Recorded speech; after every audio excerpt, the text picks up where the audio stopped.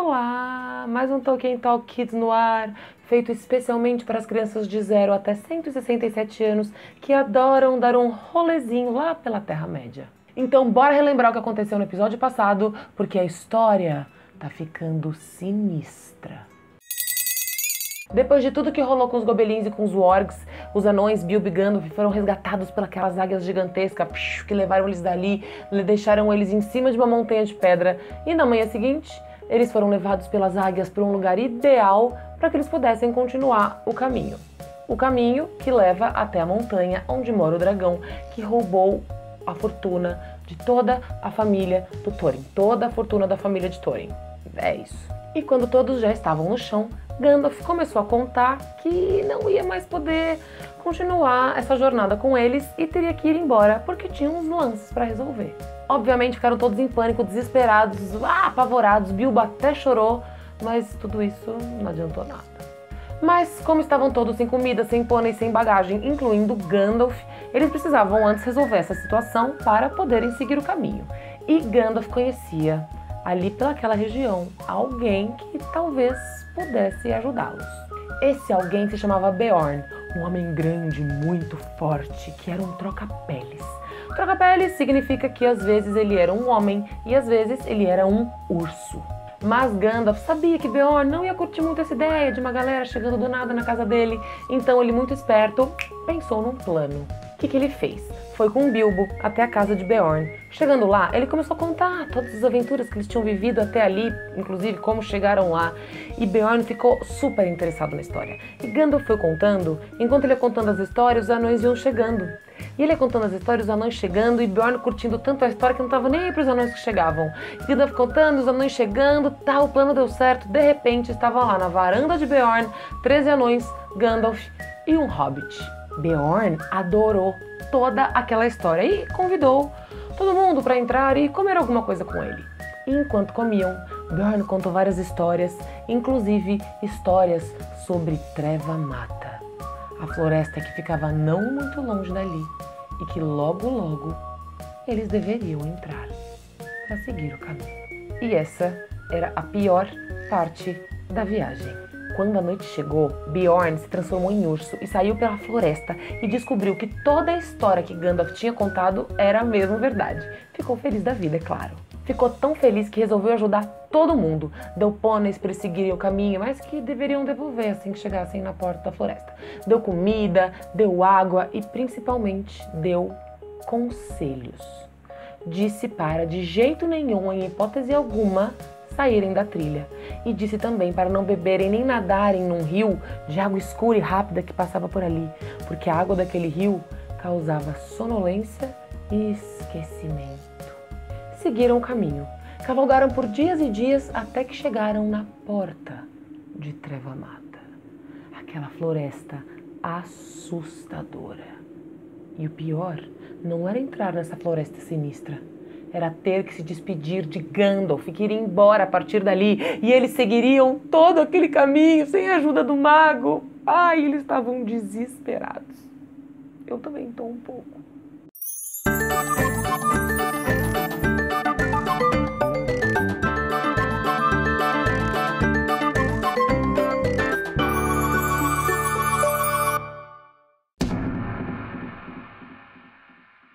E assim, os anões e Bilbo entraram em Treva Mata. Andavam numa fila indiana por uma trilha estreita. E quanto mais eles andavam, mais escura a trilha ficava. E à medida que os olhos iam se acostumando com a escuridão, eles podiam ver mais adiante. Conseguiam ver os troncos das árvores grandes, antigos. Conseguiam ver os arbustos. Na floresta, o silêncio era profundo mas às vezes eles ouviam alguns sons no meio da mata. Ouviam grunhidos, ouviam passos arrastados, ouviam sons esquisitos, mas só ouviam, porque até Bilbo, que enxergava muito bem, não conseguia ver nada. Andaram mais um tempo até que eles viram uma coisa nojenta. Eram teias de aranha, mas não eram essas teias de aranha que a gente está acostumado a ver aqui, não. Eram teias de aranhas gigantes gigantescas. Os fios das teias eram enormes, muito grossos e eram meio nojentos, melequentos, grudentos. Ui. Aquela floresta parecia um pesadelo. Quanto mais eles andavam, mais infinita parecia aquela trilha. As noites eram a pior parte. Tudo ficava muito escuro, mas muito escuro mesmo, era um breu. Se você passasse a mão assim na frente do seu olho, você não ia ver nada. Todos eles dormiam aconchegados, revezando para fazer a vigia. Acharam melhor não acender uma fogueira, porque podia atrair olhos curiosos. E assim dormiam naquela enorme e sinistra escuridão. Eles já estavam em Travamata há muitos dias. Para Bilbo pareciam séculos. E o pior é que a comida estava acabando e a água também. Eles não encontraram nada de comer por ali e estavam lá andando, pensando como é que resolveriam esse problema, quando no meio da trilha tinha um rio. Um rio de águas escuras e correnteza forte. Vocês se lembram que Beorn falou desse rio, né? Aquelas águas causavam sonolência e esquecimento.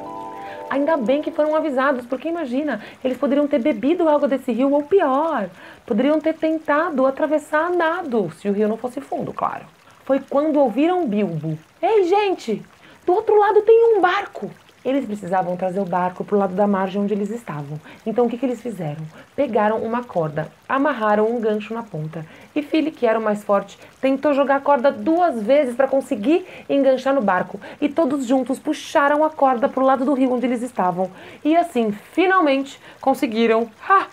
Pronto, tinha um barco. Ótimo. Só que esse barco era um barco pequeno, não dava para todo mundo atravessar junto. Então o que, que eles fizeram?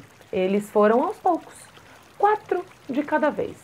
E por último, três anões, puxando o barco numa corda até o outro lado, chegaram todos são e salvos mais uma vez.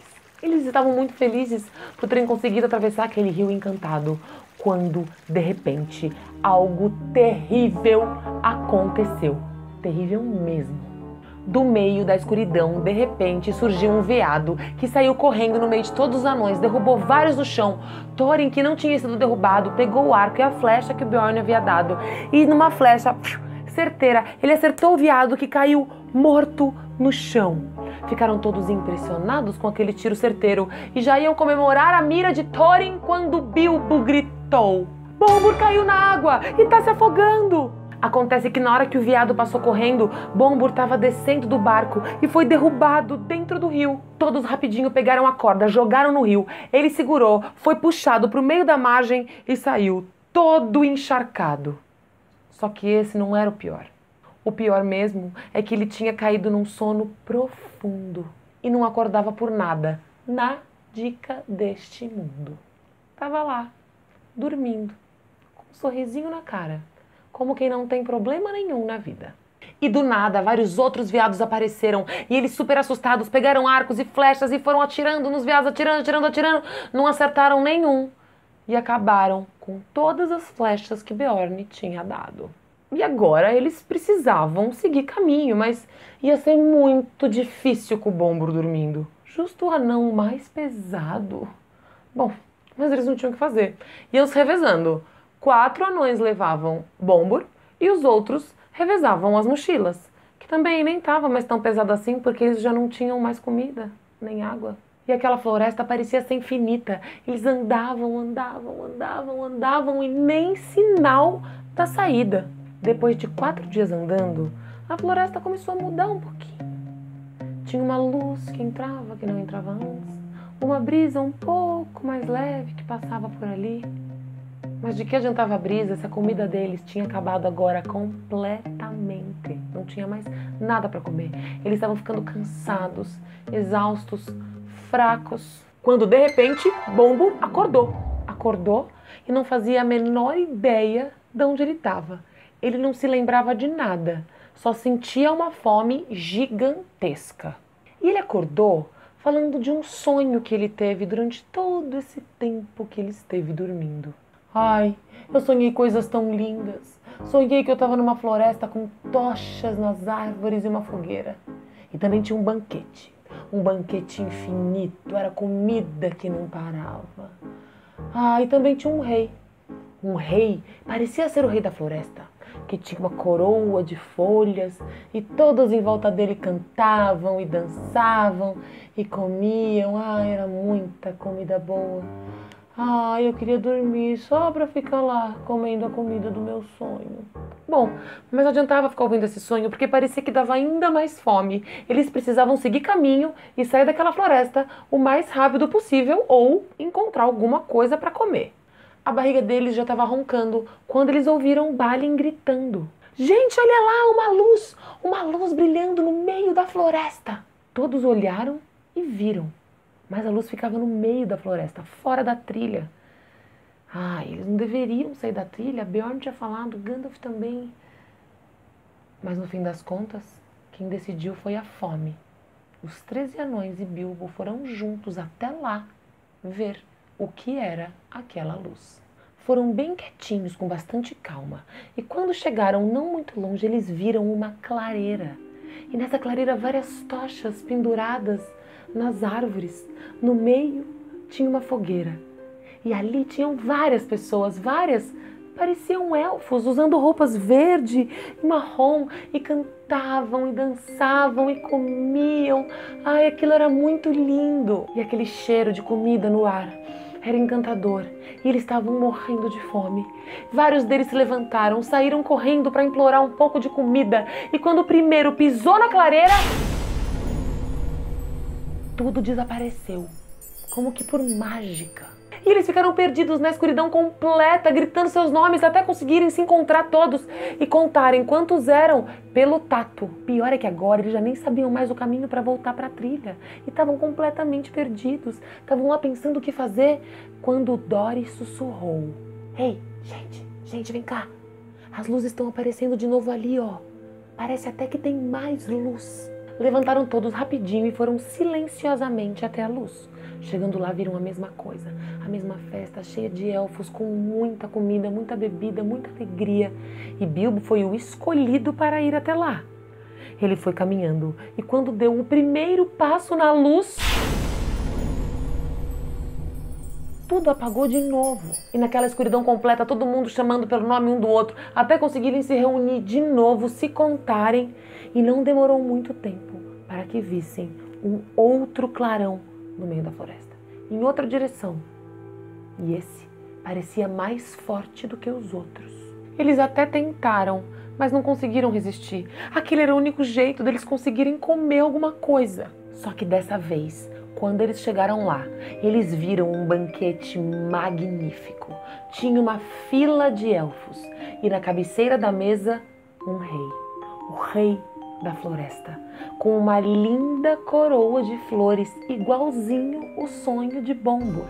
Em volta, vários elfos dançavam e tocavam harpa, quando Thorin surgiu no meio deles.